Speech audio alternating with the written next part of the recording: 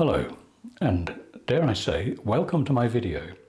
There will be a blooper at the end. Just remember that. So anyway, I don't have anything planned for this one. I'm just going to get straight into it. I have a vague idea in my head and we'll just see how it goes. I saw a sky the other day and I thought, well, that's nice. I didn't have my camera, so uh, I'm just going to have to sort of try and remember what it was like. It's not that difficult really, because it was sort of like a sky. Right, uh, there may be a problem with a bit of reflection. I don't know why I have such trouble. Well, I do actually. I live in an extremely small room. It doesn't matter what I do with the lighting, it just doesn't seem to work. Anyway, we'll see how it goes. If it looks too bad, I'll um, change it. I'll keep my eye on it. Anyway, the thing about this sky that I saw was it had this sort of bluey, purpley feel to it, uh, which is what I'm trying to do here. This is um, ultramarine, royal blue, and a little bit of Japanese red thrown in. And as you can see, I just tweaked the lighting of it. Um, it's a bit of a nightmare. I just need a new big studio. So uh, interesting colours.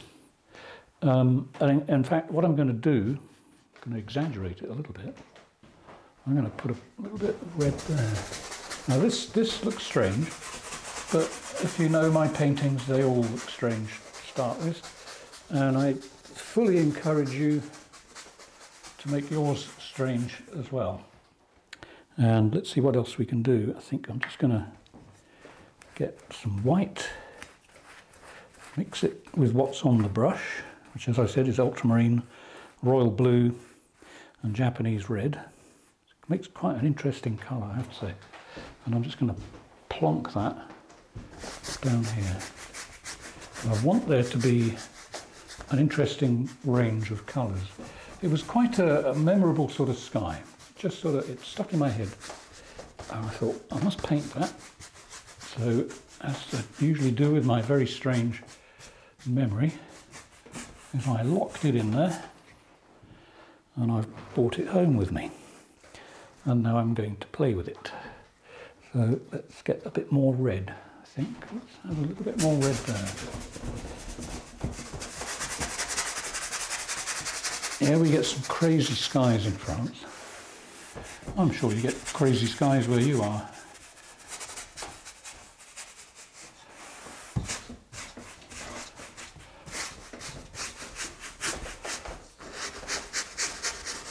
I've always found it interesting on the subject of skies when people say, oh, I live in big sky country. Um, uh, you know, well, the way you explain big sky country is either you live on a very flat plain or on the top of a mountain.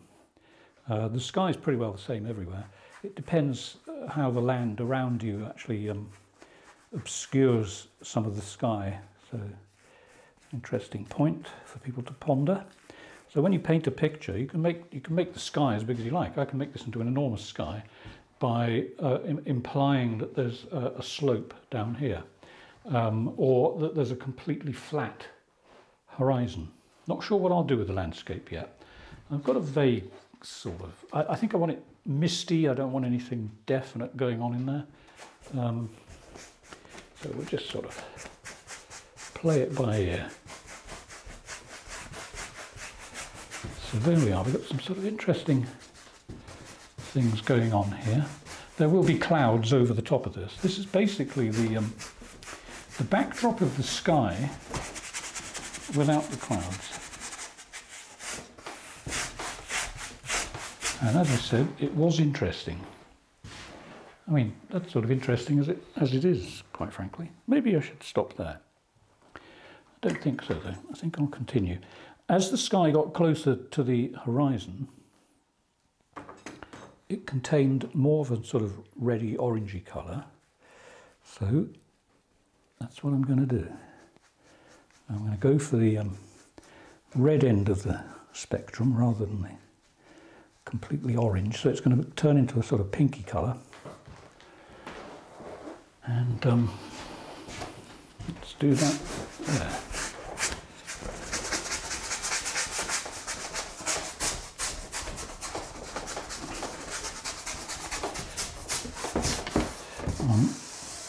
The last video I put up, you may have, if you've seen it, you may have seen the note that I put on um, possibly Facebook. Uh, it took 24 hours to upload. So anyway, I used um, Filmora Pro as my video editor. Uh, if you are going to use it, or if you're an, I'll tell you what, if you're an expert in Filmora Pro, contact me. I'll give you some free painting lessons. I just need to know what I, did, what I did wrong. The file at the end of it ended up over seven and a half gigabytes. And um, that's big. Normally my file size is about three and a half, and that uploads sort of, you know, overnight. This one took 24 hours. So um, really slow, painfully slow. I was, I was beginning to lose the will to live, frankly, by the end of it. Uh, I thought it would never go never get there. It seemed that, you know, I was watching the counter. For the first hour or so, I was sitting at my computer and I kept an eye on the counter and it went to 1% after about 10 or 15 minutes. And I thought, oh, you know, it's moving. Maybe something is happening. Uh, 15 minutes later, it went to 2%. And I thought, well, this is getting beyond a joke. I am a person with a lot of patience, but that really tested it. So anyway, there we go. As you can see, that's how quickly you can get a reasonable sky with very few colours. Uh, we're not there yet though. We're going to do a few more little things to that.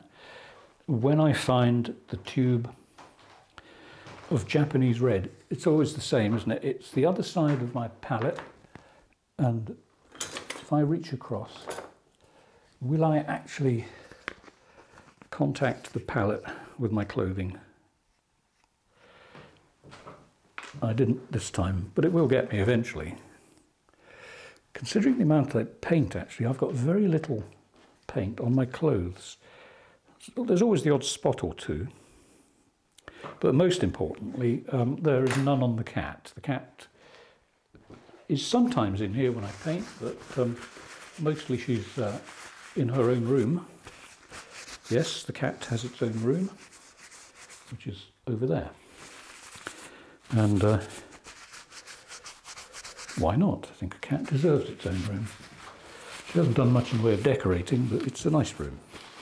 Now, let's see, what should we do? As, as we get closer to the horizon, it's going to be a very shallow horizon. I think I'm going to put a line of light. So we'll just do that. We'll just put a line of light across there. Doesn't have to be exactly level, but as level as you can get it. What it, it, it depends what you're going for, really. I mean, I, because I don't really know even what the landscape will be yet, um, there's no point in me planning that bit. So what do I need to do up here? Right, I'll show you in a moment. Um, let's have something like, I think, there. Now, it's not necessarily a cloud. It may look like a cloud, but it could just be a, a, a change in the, in the sky behind the clouds, because even that can fluctuate in tone occasionally. So, as you can see, I'm not really too concerned about what this looks like at the moment. Let's just get the paint on. And, and in fact, I'll tell you what, here's, a, here's, a, here's an idea. It's not that I worry about it later. I don't worry. I think that's the thing that makes a lot of these paintings work, is that don't worry. It's not worth worrying about. Far more important things to worry about. And even then, try not to worry about them because it doesn't do any good. It just there's a great saying actually. If you worry today about tomorrow, then you've wasted today. And I'll tell you something, the older I get, the more I actually believe that. Take each day as it comes. Next thing I'm going to do is I'm going to get some um, Payne's Grey, of, of which I have lots on my palette. And um, I'm going to mix that with a bit of white. Payne's Grey with, uh, same again, a bit of Japanese red and not a lot of oil. And what I'm going to do over this is going to, oh, but before I do that, I just had a thought. this happens. Every now and then I have a thought. I'm just going to do this a few times. Great big brush. All I'm doing is just, I'm putting streaks on at the moment, but that's okay. They will go like so.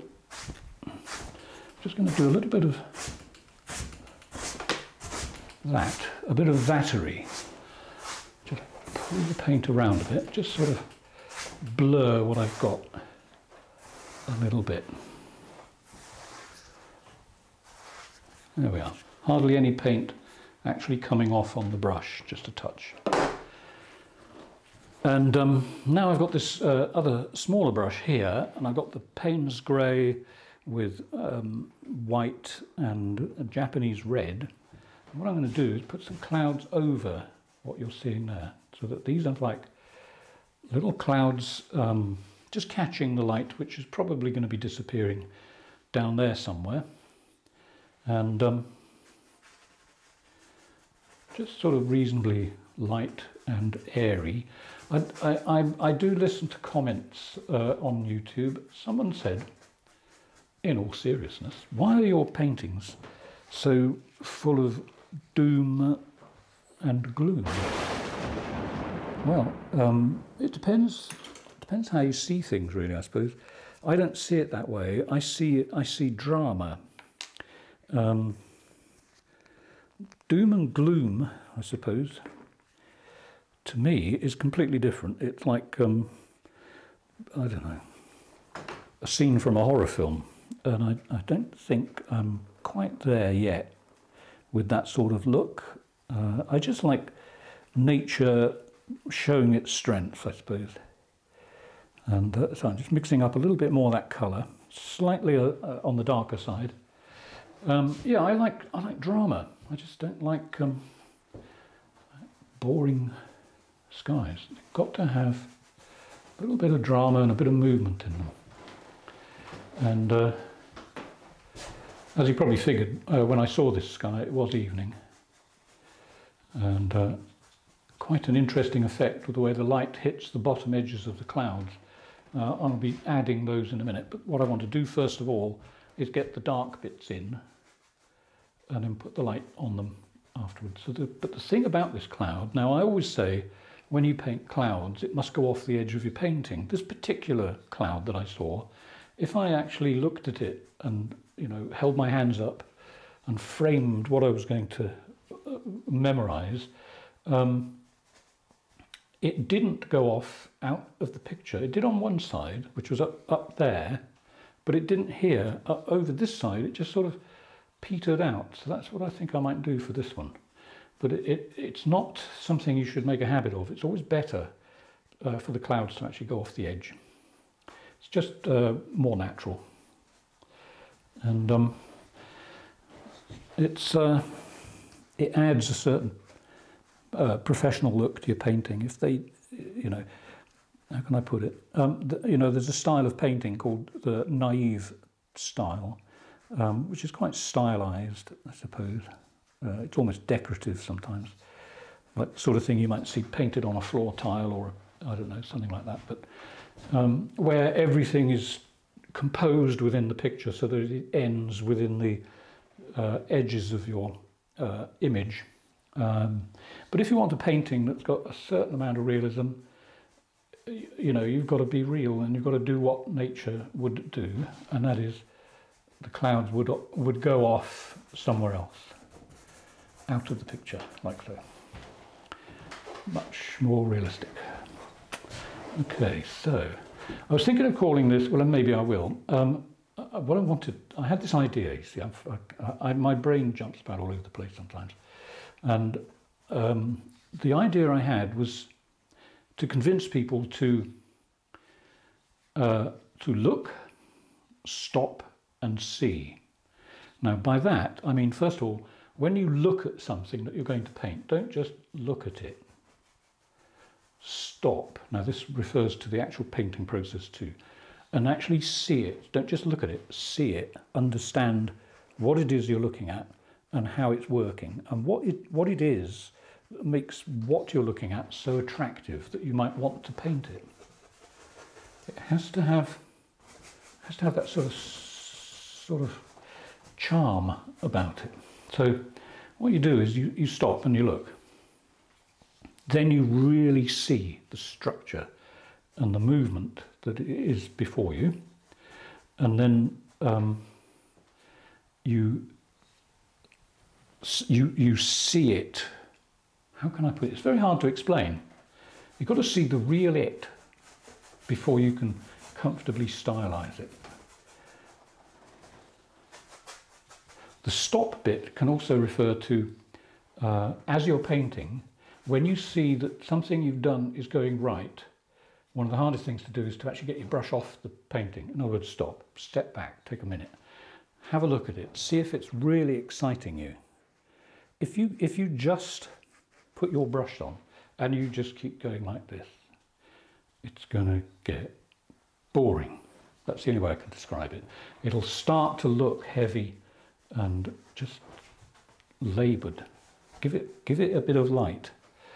Put in the odd little surprise, you know, like a little bit of, little bit of cloud going off that way. It doesn't all have to go in exactly the same direction.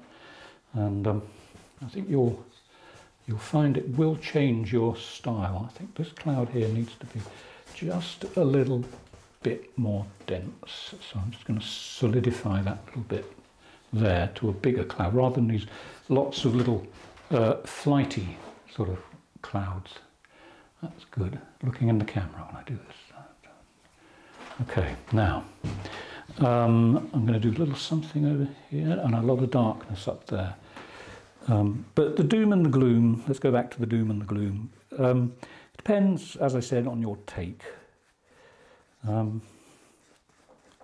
let's face it, if you, if you were out somewhere and all you had was forever just blue sky, wouldn't that get boring? Apart from it being probably either very hot or very cold, depending on where you are, um, wouldn't that be boring? If you didn't actually see any cloud formations. Put a little bit of dark up there. You notice I'm using uh, occasionally the side of the brush with a slower movement to actually put the paint on. The faster you move, the less paint goes on. It's more of a flick. But this way, it's um, it just gives you a little bit more of a solid cloud. Okay, now then, what do I need to do? Oh, I can see that, yeah. Okay, so this cloud here, bear in mind I haven't added the white yet, there will be white uh, I just don't like the way that's ending, so I'm just going to feather it away a little bit. Feather those, feather this, bring that across there.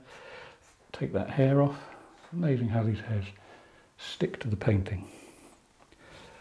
Um, there we are, and in fact a little bit more dark with, so in other words, pain grey, pain grey, painful grey, Payne's grey, with a little bit more red in it and even more Payne's grey, that's good. Uh, and I'm not adding extra oil to this. Any oil that's on there now is what was put on the board originally. So, uh, you know, we're not swimming in oil here. I think we should have a little bit of dark underneath that cloud thing, whatever it is, there. Okay. and I think we'll just feather the bottom edge just a little bit. Okay, so there's a little bit of a little bit of weight up in that corner, but I want to keep everything quite bright, so I'm not going to do a lot down there at the moment. In a moment, in fact, in a moment, what I'm going to do is start to add the landscape. Um, but let me just have a look in my camera. Yeah, it's looking pretty, pretty cool. I had another idea, apart from this um, sky thing, I had another idea to um, paint something, which I will do soon, maybe in the next few days. Let's just put a little bit along there. That there's a little bit strong there, but it's, okay. Um, let me think. Okay, I think we should have a little bit of dark just there. Just a little. and you'll see why in a moment because they'll start to work when I put the white on, those dark bits. Okay, now, anything over this side? What should we do? I think we might just have something there.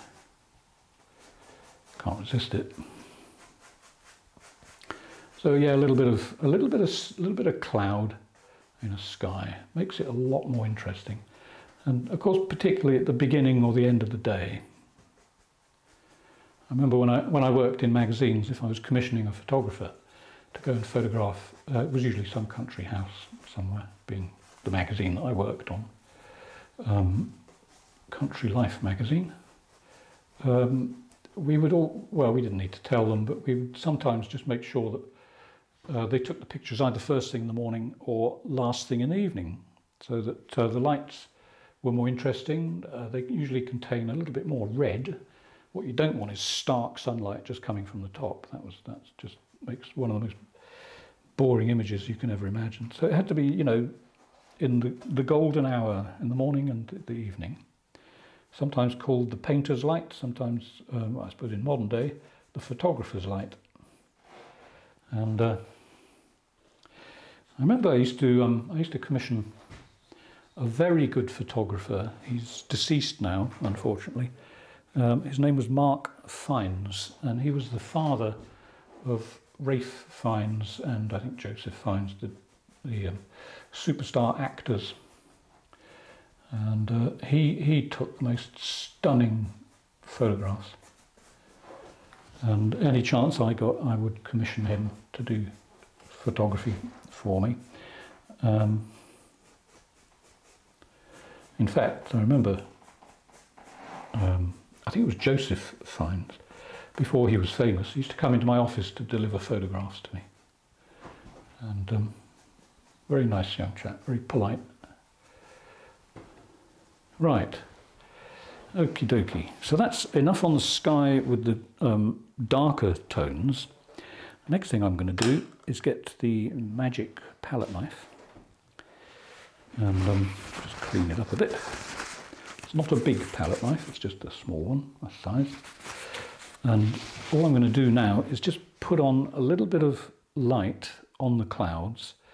Um, the actual light, when I, when I remember back, had a bit of a yellow tinge to it, but I'm not going to do that in this sitting. Quite a lot of my videos that I do now, um, I break down into two parts. So this will be part one, and I hope it's going to go quite fast. You must admit, I'm not hanging about here. Um, so let's see, what should we do? Let's just speed it up. Let's just have, let's just have some light uh, hitting the base of these, some of these clouds, not all of them, just a few just to show a little bit of light reflecting up. I think we'll have one up there too. And I think um, let's have a bit over there. Making sure that I am not showing you my sweater. Oh, I had to reply to someone the other day. They said, I like your paintings, I don't like your dirty sweater. um, so I replied, it isn't dirty, it's cat hair. And to me, there's a big difference. Cat hair is totally acceptable. So anyway, so there's now they look sort of just dotted at the moment, but I'm going to I'm going to blur them up a bit. Uh, but before I do that though, I'm going to just put a little bit more white along the horizon, probably I think here. Let's just have a lump of white there. Now this is so that I can work the landscape into the sky. Okay, that's looking okay. Now then, clean the palette knife. Big brush again, although I might use a different one. I might use this one. This one's slightly flatter. Has it got blue on it? It's blue coloured, but it's, uh, it's been cleaned. It's just blue always stains bristle um, quite strongly. So here I'm just going to go across the white with this big brush, hardly touching it. This is the bit that I think some people have trouble with. Um, it's, it's the most unbelievably light touch so that you, you hardly move any paint. You see there, that dark bit over the edge there, um, if I, that's quite wet paint, but if I just barely touch it, it doesn't do much. It's, it's uh, quite a slow process in a way. It's quick in some ways, but it's slow in others. The lighter you touch it. So now, this is the bit I really enjoy because you never quite know what will happen. You get an idea, but obviously, until you do it. And when you've done it a few times, give it a wipe. So if there's any paint on there that I don't want, it's coming off as I wipe it. Okay.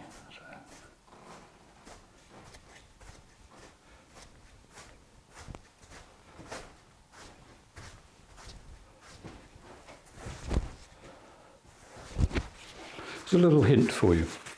If you're doing that and you touch the brush on it and you get a line like that, which I'm sure you can see, that one, okay? It's not the end of the world. Nothing is the end of the world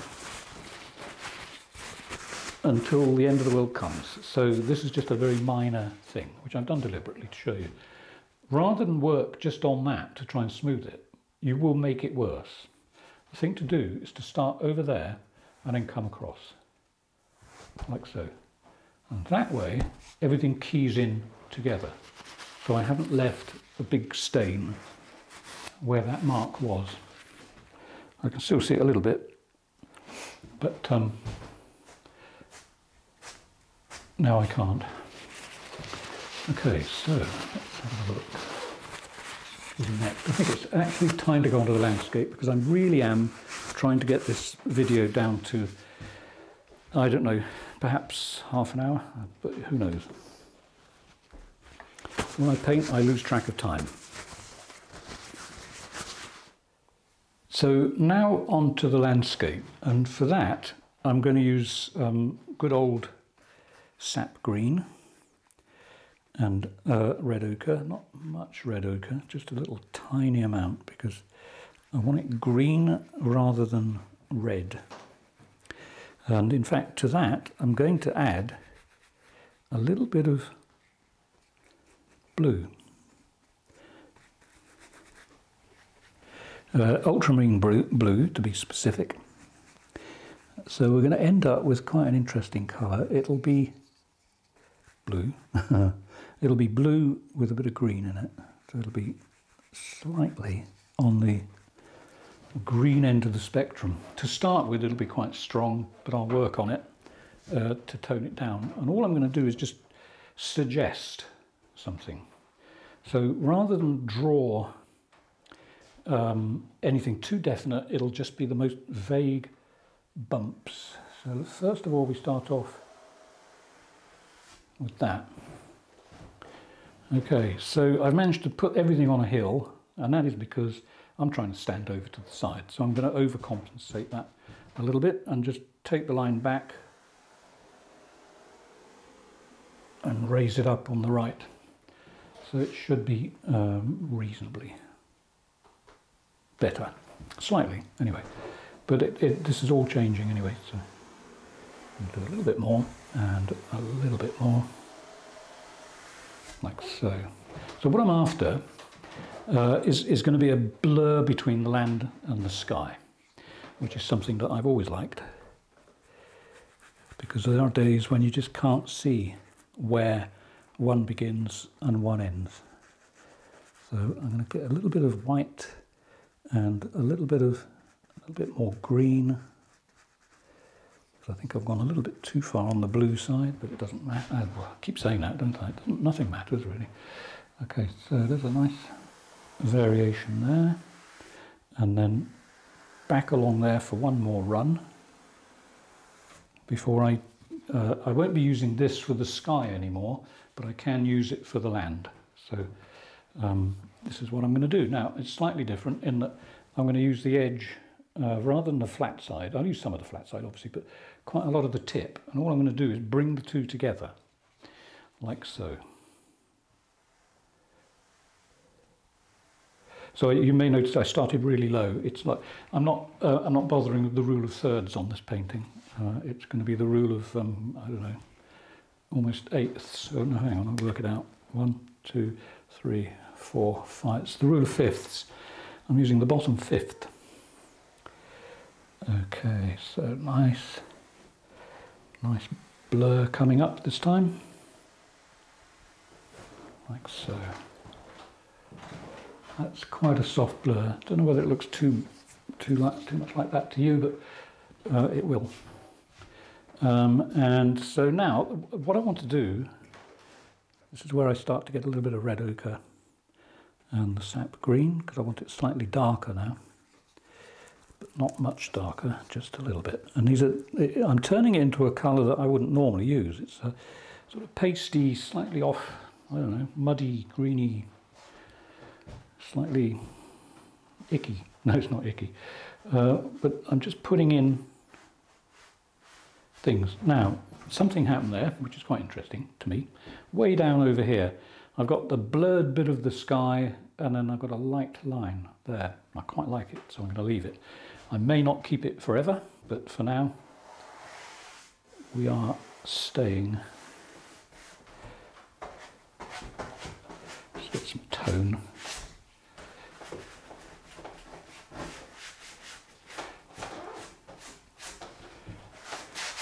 Not much oil in this. It's quite a lot of dry paint there.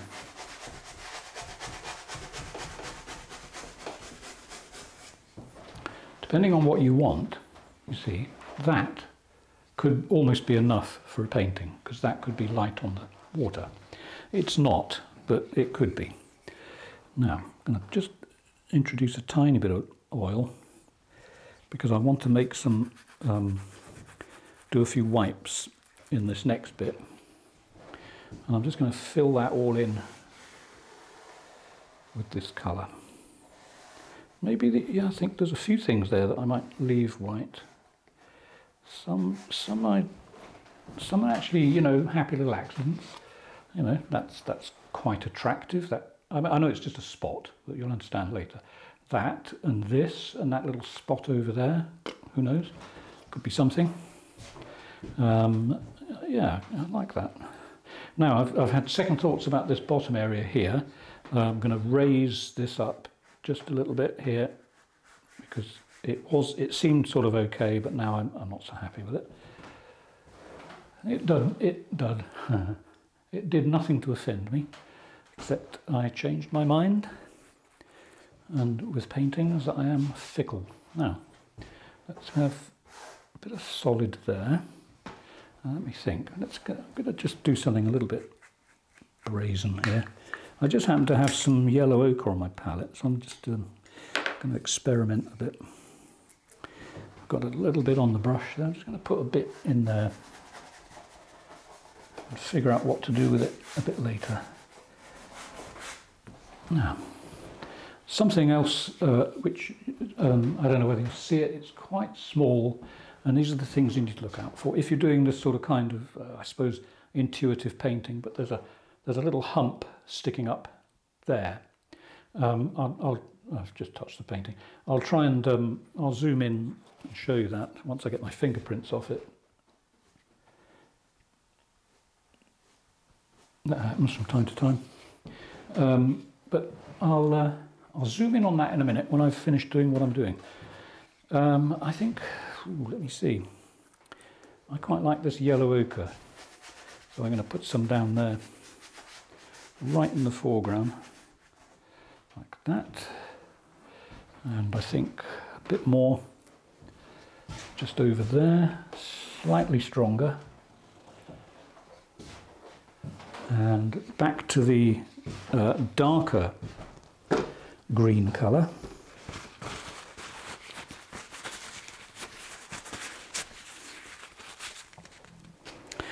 So I'm just wiping the residue off the brush, as usual, without turpentine, just to um, get the get the really loose paint off. I, I, really quite like the effect when you have a brush that's already got something on it, uh, and then you um, you add other colours, and it just does something to the, to the painting. It it uh, it starts to I suppose, push you in the area of, um, how do I put it, accidental painting almost. You have to think, think of it that way.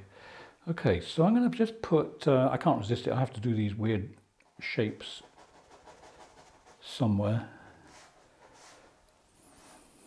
You know, these sort of humpy tree things. Humpy trees? Humps of trees. As opposed to trees hump, hump, no, I don't know. Anyway, let's just put that on. Now, here's something that I really have to tell people. And I don't, this is not to offend, this is to teach. People send me paintings and they do things like this. Okay? And then they do one there, one there, one there, one there, one there, one there. They repeat it all over the painting. Always remember that less, it sounds really like one of these I don't know when it started. Less is more. I don't remember when I first saw that, but I think it was back in the, or heard that, it was back in the 80s. You know, when you designers were talking about their designs and trying to convince whoever it is, the client, to go for a minimal look, they say, oh, well, less is more. Um, and quite often the client would look as if they understood. I'm sure a lot of them didn't. But there is something in it. Um, you, you don't have to overstate you can keep things simple so that you just achieve your objective. In other words, you say enough to basically get the message over. Now here, if I'm out the way, I'm putting the brush, I'm really pushing the brush in because I want some paint to come off the brush because I want another dark bit there. It's not very brazen, it's quite, uh, quite subdued, but it, it'll give the impression that I'm trying to convey. And um, I'm going to get some sap green without much else on it. So all these colours are piling up on this brush, but I know which side uh, the brush has got more uh, of a certain colour. Now you can't see much of that there that's got more green, that's got a little bit more yellow, and over the other side it's got a slightly pasty green. So I want the dark green, which is here. And um, all I'm going to do is connect that to the land, bring it down there. I want, a, I want some kind of dark line. This is actually quite reddish. And I think I'll let some of the red show through. But over here now, I'm going to keep it, once I get out of the way, keep it reasonably flat. This is, this is almost um, abstract painting this, but not quite, because it looks like something. Am I a big fan of abstract art? Don't ask me. Anyway, uh, let's see, I'm going to get some Payne's Grey into the green now.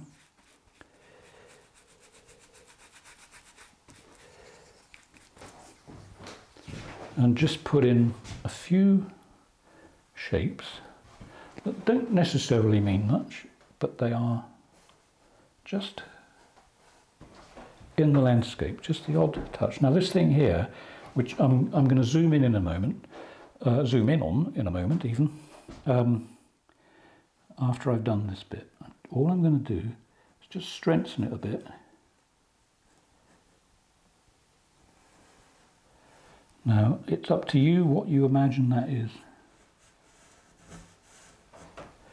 Could be buildings, could be trees, who knows. But anyway, let's zoom in and have a look and you can see how simple it actually is. Just to give an impression of something. So looking at that, it could be, as I said, it could be a town, could be, uh, who knows, could just be a blob on the landscape. So now, very quickly, I'm just going to use a piece of paper and just do a little bit of wiping and a little bit of taking away. So I'm going to, I'm probably going to keep these light bits here. I think they're okay. Uh, but I think it needs something along there. Just a line suggests something. Could be water. And then here, just double check you can see where we are. Can you indeed? Not much, no. So let's move I'll try and move this without cutting so that it saves time. Right, what I want to do is work on the area below that bush thing in the slightly to the left of centre. This thing. And uh, as you can see by the texture of the paint underneath it, there's various things happening. This could be, well, you can't see it, typical. Anyway, I'll move the camera again in a minute. But basically down here, I want to get something in there. Something that looks as though there's a bit of light hitting the ground. So I'm going to just sort of drag this piece of paper, which, and I'm using, I'm using this sort of surface here not, I haven't made it into a point. All I've done is sort of crinkle it and make it into a little bit of a curve. And hopefully that'll give me the effect that I want. And it's just, uh, uh you know, the land changing angle a little bit there. with A bit of light catching it.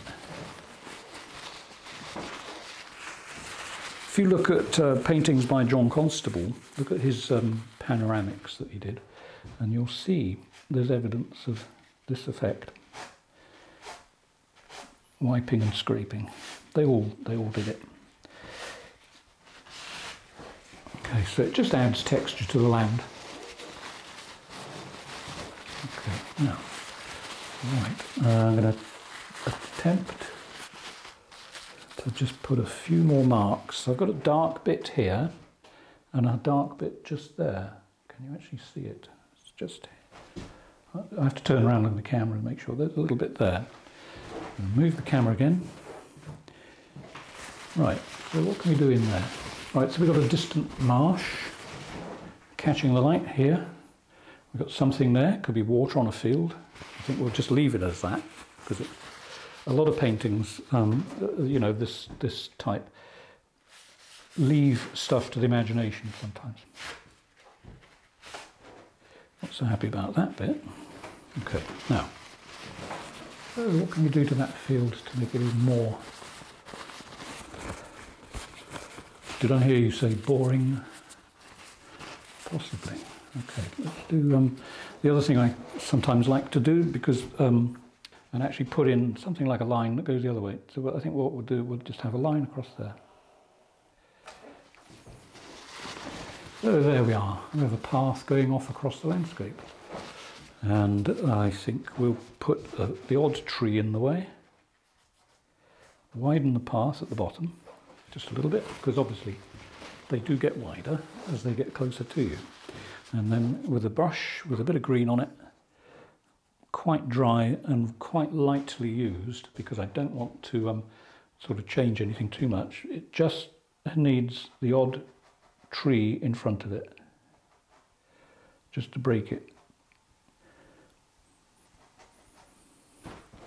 Like so.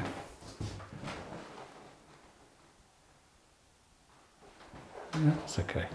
Now, a little bit over there, where can you see? Let's just make doubly sure you can see what I'm seeing.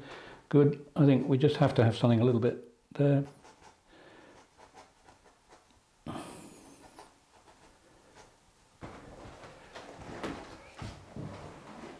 Just a hint of a shape. Now it could be way over in the distance. Way over here, it could be the sea. It may just be mist between the land and the sky. Um, the, the place where I saw this sky, obviously, uh, just, well, not obviously, but just um, if I go out the house here and just look down the drive to the road, that was where I saw it. So I'll look out for it again tonight. It might be there. You never know. And I think I'm going to put a few little textures just in that field there. Because nothing is ever flat colour if you were painting a modern farm uh, with, you know, highly tailored fields that have been squirted with something repulsive to make everything the same colour and no weeds to grow, fine, maybe that's, then you'll get it. But if it's just raw countryside, which is my sort of, I suppose, passion, it's going to be grass that is multi-textured. There we are. Now, I think part two of this would be just just to add a few highlights, uh, e even if I do it part two, which I might, I might do it. A bit of light there is quite nice. I think way over in the distance. I'm trying to keep most of the attention in here, you know. Um, but uh, yeah, maybe when it's dry, I'll do a little bit more work on the sky. But for now, I think we are pretty well there. So I'm just going to do my usual and say, oh, my usual is not, oops, my usual is usually, um, just to remind people that I do Skype, not Skype. Honestly, I'm such a drongo sometimes. I do Zoom lessons. Um, and uh, if you're a patron, in other words, uh, if you contribute on my Patreon page, you get, uh, I don't know how it works out, some, some people get a free lesson, some people get a vastly reduced lesson. I'll put a link in the box below as usual. Um, but the, the Zoom classes are, uh, and I'm not exaggerating, and this is not just to make money, um, I actually enjoy teaching. I like, I like the look that suddenly comes across people's faces when they realize that they can do this. And uh, so that's my motive, and it is totally genuine.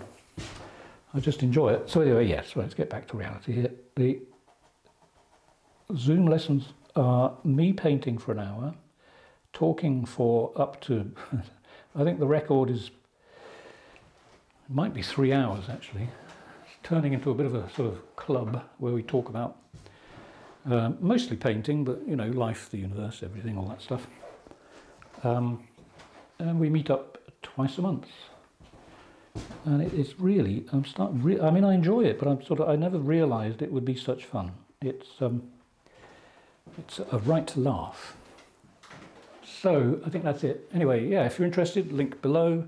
What else? If you haven't hit the subscribe button, please do. It um, changes YouTubers' lives the more subscribers you have, and especially if you hit the little bell icon next to it, which means that uh, you'll know when I next put up a video. And, um, whoops, I just want to put something there like so. Um, what else? Yeah, that's it really, I think. Yeah, subscribers are important because quite a lot of YouTubers, uh, it, their only source of income is actually YouTube it, uh, it does have an impact. So let's just see before I go. I'm going to move that. I think, no, I think I should stop. So one of the points of this whole thing it was that uh, you should look, see and stop, or stop, see and look, or I think it doesn't really matter what order they are in. They all apply to art, to oil painting and I'll probably do something just over there before I go. So I'm going to move this so you don't have to see the revolting colour of the wall or my green screen, which I must get into using more, which is behind the painting. So right, in that bottom corner, while you're going and hitting on that subscribe button, oh yeah, and comment, yeah, comment as much as you like. I like comments. Um, they sort of make my day every morning I get up and I come in here I go through my I go through all my messages and I reply to as many as I can in the time that I've got. Can't always reply to everything. Right, so let's just resolve this bottom corner into something. So I think we'll put a bit right there. It doesn't have to be really powerful, it's just a slight touch, just to just to get the feeling over. And I think line that way. Okay, right. And I think just the odd, I don't know what they are, just the odd thing, you know? It's just a touch with the paper, just to sort of get the eye, get your eye twitching. And I think that's it. Right, I will go and leave you in peace. Hope to see you next time. Thanks for watching and bye for now.